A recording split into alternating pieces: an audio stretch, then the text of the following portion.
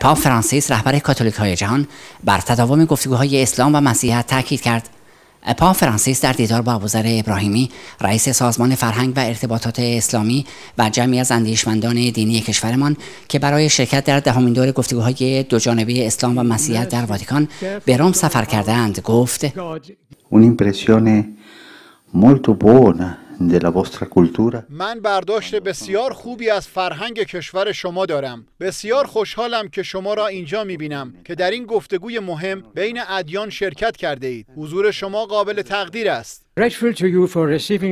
در این دیدار کاردینال توران رئیس شورای پاپی گفتگوی ادیان گزارشی را از نشست دهمین دور گفتگوهای دینی دوجانبه ایران و واتیکان که به همراه ابوذر ابراهیمی ریاست مشترک آن را بر عهده داشت ارائه کرد.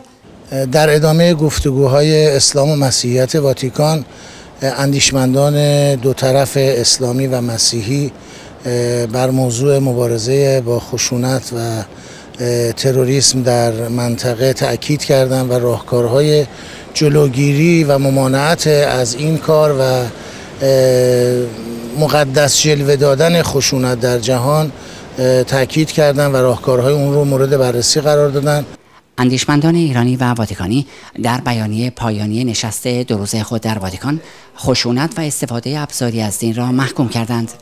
دور بعدی گفتگوی بین ادیان میان ایران و واتیکان دو سال دیگر در تهران برگزار می شود حمید معصومی نژاد خبرگزاری صدا و سیما واتیکان.